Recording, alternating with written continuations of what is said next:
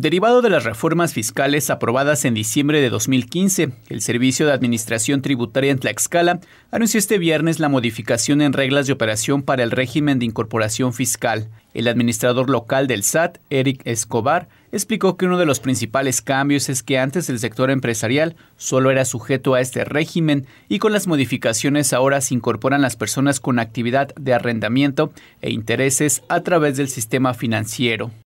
¿Cuál es la limitante? Si yo estoy hoy en arrendamiento, puedo ser sujeto e incorporarme al régimen de incorporación fiscal. La única limitante es que no se rebasen los 2 millones de pesos que se tiene como tope para efecto de, eh, de poder tributar en este régimen. Anteriormente, los contribuyentes en operaciones al público en general expedían notas de venta por un valor de 100 pesos. Ahora se proporcionarán cuando el importe sea mayor a 250. Es decir, solo estoy obligado a emitir una nota de venta cuando mi operación con el público en general es arriba de 250 pesos. Si me piden una factura, ahí no hay limitante, ahí es desde un peso en adelante. Pero la obligación para operaciones con el público en general, pues sería arriba de 250 pesos. El objetivo de estas medidas es invitar a los comerciantes a la formalidad.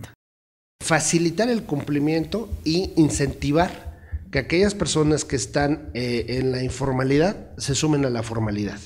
Y aquellos que ya son formales y están en el régimen de incorporación, lo que se busca es eh, darles un poquito más de flexibilidad para que puedan, como pueden ver, pues eh, realizar sus operaciones con el público en general Asimismo, el límite para poder realizar compras o pagos de nómina con pago en efectivo se modificó de 2.000 a 5.000 pesos y las personas físicas que realicen actividades empresariales mediante copropiedad pueden nombrar a uno como representante común para que sea el encargado de cumplir con las obligaciones.